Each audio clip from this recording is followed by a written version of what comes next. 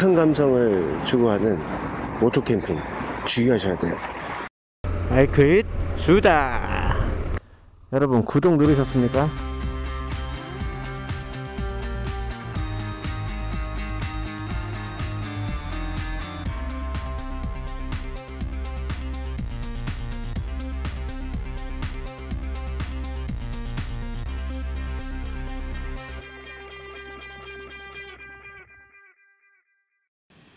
안녕하세요. 요리나무 채널입니다.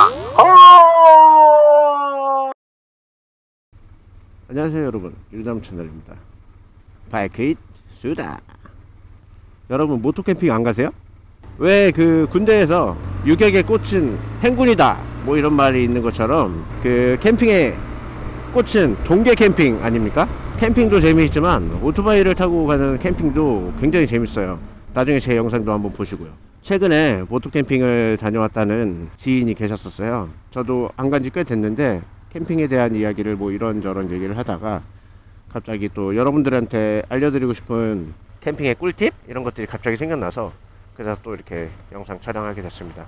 자 여러분들 캠핑 하면은 준비할 게 너무 많잖아요. 보통 이제 캠핑 하게 되면은 자동차를 생각하고 짐을 준비하거든요. 자동차를 기준으로 짐을 준비하기 시작하면은 정말 한도 끝도 없고 이 많은 짐들을 다 실을 수 있는 방법도 없어요.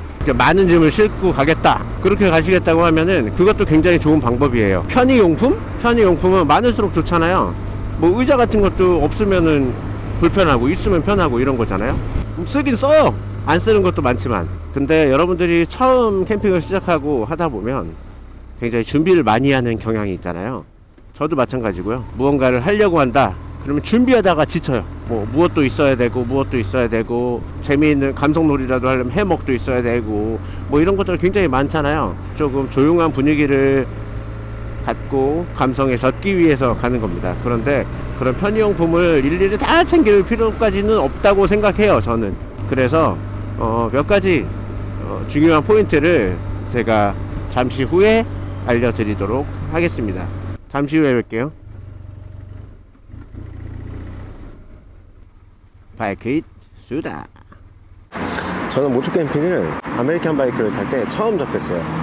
그래서 준비할 게 너무 많으니까 캠핑도 처음인데다가 moto 캠핑을 첫 캠핑을 또 moto 캠핑으로 하게 되니까 이것저것 준비할 게 너무 많은 거예요. 그래서 뭐 American 바이크니까 수납이 안 좋잖아요. 그래서 뭐 luggage 사다 달고 그리고 뭐 CC바 사다 달고 뭐 난리도 아니었어요. 저희 블로그 한번 보시면 아실 겁니다.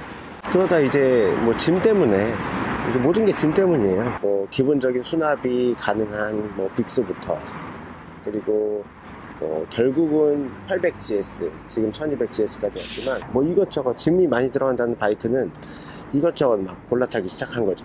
캠핑이나 오토 캠핑 이전에 backpacking이라는 거를 하지 않습니까? 산에 갈 때 커다란 가방을 메고 산에 올라가는 여행을 떠나는 백패킹 이런 것도 하니까요. 저희는 오토바이라는 그, 그 동력 장치를 도움을 받기 때문에 걸어서 가는 것보다 훨씬 더 수월하게 갈 수 있다는 거예요. tandem까지 고려해서 1200GS까지 오긴 했지만 그렇다고 해서 이 1200GS가 굉장히 수납이 좋은 것도 아니에요. 어, 좌측에 있는 side bag 같은 경우는 머플러 때문에 수납이 정말 코딱지만큼 밖에 안 되고 그리고 오른쪽에 있는 side bag 같은 경우는 많은 수납은 가능한데 비에 안 젖는 그런 물건들을 이렇게 넣다 보니까 기껏해야 뭐 침낭 그리고 뭐 신발 이런 것들 하나 넣으면 겨울 침낭도 부피가 있지 않습니까? 그래서 뭐 침낭도 꾸겨꾸겨 넣고 뭐 하다 보면 오른쪽 side bag도 끝나요. 그럼 캠핑과 관련된 용품, 텐트, 의자, 뭐 테이블 이런 것들 하나도 실을 수 없습니다. rear bag? rear bag은 헬멧 하나가 들어가지 않을 정도로 좀 작습니다. 그거에 비해서 맨 뒤에 luggage rack 부분을 공간을 차지하고 있기 때문에 오히려 짐을 좀 꾸역꾸역 싣는 데는 전혀 도움이 안 돼요. 오히려 마이너스 요인이 되는 거죠. 그래서 저 같은 경우는 왼쪽 side bag에는 뭐 비상 공구, 오른쪽 side bag에는 젖어서는 안 될 물건들 그리고 rear bag은 탈거해 버립니다. rear bag은 빼고 커다란 방수백을 구해서 뒷좌석부터 그 다음에 luggage rack, rack 있는 데까지 한 번에 실어버려요. 그렇게 실어야만 그나마 조금 짐이 조금 실린다는 느낌? tandem을 할 때도 마찬가지예요. tandem을 할 때도 luggage rack 쪽에 그 방수백 커다란 그 가방을 실어주고 tandem자를 의자에 앉히고 그 짐을 등받이 삼아서 앉을 수 있게 해줘야 됩니다. 순정 side bag의 용량이 그렇게 크지가 않아요. 순정 side bag이나 top case 같은 경우는 기껏해야 5kg 정도밖에 못 실기 때문에 보시면 순정 side bag은 뭐 최고 5kg까지밖에 실을 수 없습니다. 11파운드 5kg. 이걸 가지고 짐을 캠핑짐을 실을 수가 없었어요. 그래서 결국은 그 커다란 방수백 뭐 가방에다가 각종 용품들을 막 때려 실어요. 자잘한 용품들 있잖아요. 그런 것들을 가방에 넣어가지고 뒷좌석에 이렇게 실어서 끈으로 묶어버리고 그렇게 해서 캠핑을 갑니다. 그래서 제가 이렇게 뭐 이런저런 다니다가 알게 된 여러분들도 이제 다니다가 실수할 수도 있는 팁? 팁 같은 것을 세 가지 정도 알려드리려고 합니다. 첫 번째는 여럿이 갈 경우에 짐을 분배를 해야 된다는 겁니다. 너는 뭘 가져와라, 너는 뭘 가져와라 해서 이렇게 나누는 방법도 있고, 어, 두 번째 방법은 모여서 짐을 다시 재정비를 하는 거죠. 크고 무거, 무거운 짐을 실을 수 있는 오토바이라든지, 작은 짐을 실어야 되는 오토바이, 뭐 이런 식으로 해서 분배를 하는 게 가장 첫 번째입니다. 그리고 두 번째, 편의 장비를 포기하세요. 처음에도 말씀드렸듯이 속세를 떠나서 조금 쉬려고 힐링하기 위해서 가는 거 아닙니까? 그런데 너무 편한 뭐 집에서 다 주- 집에서 생활하는 거와 똑같은 편안함을 원한다면 집에서 쉬는 게 더 좋아요. 뭐 와이파이 돼야 된다. 아니면 와이파이 하려고 에그 가져가고 그리고 뭐 영화 보려고 아이패드 가져가고 그리고 또 뭐 각종 그 편의 장비들 있잖아요. 고기 구울 때는 불판도 있어야 되고 그리고 좀 편하려면 뭐 밥상도 있어야 되고 테이블 있어야 되고 코펠 버너 뭐 이런 거 있어야 되고 최소화하는 것들을 제외하고는 편의 장비를 대부분 포기해야 됩니다. 물론 가서 편안하게 쉬는 것도 중요한데 뭐 짐을 많이 실어가지고 오토바이에서 짐이 떨어져 버리는 위험을 좀 줄이자는 거죠. 편하려고 떠나는 캠핑이라면 그런 부분을 웬만큼 타협하셔야 된다고 생각합니다. 세 번째. 그리고 이거는 생각보다 중요한 건데 가서 이제 쉬는 것도 중요한데 먹고 노는 것도 중요하지 않습니까? 그래서 뭐 장을 미리 봐서는 안 됩니다. 저 같은 경우는 자동차로 캠핑을 가더라도 식재료를 미리 안 사요. 그냥 현지 조달합니다. 사이트를 다 구축해 놓고 바이크로 이동해서 뭐 근처에 농협이나 식자재마트에서 뭐 먹을 걸 산다든지 이런 식으로 해서 현지에서 먹을 걸 조달하는 거죠. 해안가 캠핑을 갔다면 수산물 시장에 가서 회를 뜬다든지 이런 식으로 해서 식자재는 가능한 현지에서 조달하는 겁니다. 그 준비해야 될 것들이 현저하게 줄어듭니다. 그리고 그 여행이라는 걸 가잖아요. 여행을 가면 현지에서 유명한 음식이 꼭 있어요. 물론 타 지역에서 더 맛있는 경우도 있지만 그런 현지에서 유명한 음식들을 한번 먹어보는 것도 여행의 재미잖아요.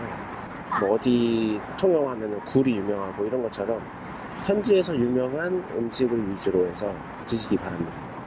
맨날 삼겹살 구워 먹으러 가는 것보다는 현지 조달 음식이 더 좋잖아요.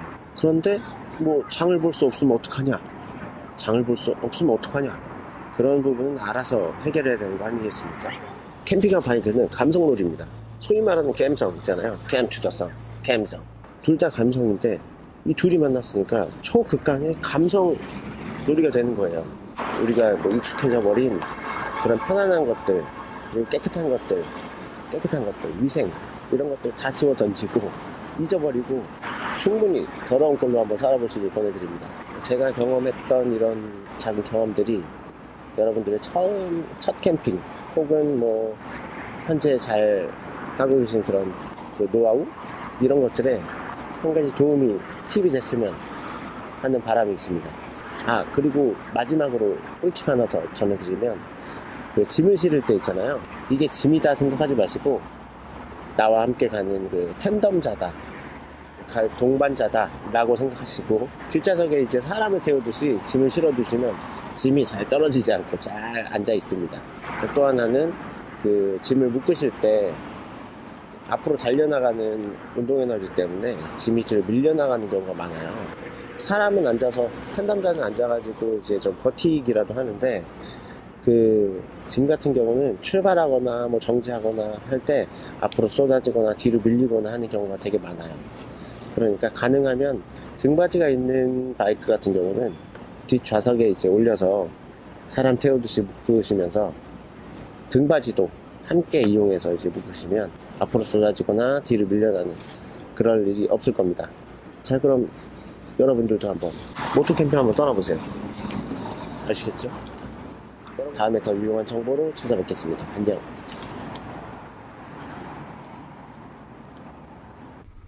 바이크잇 수다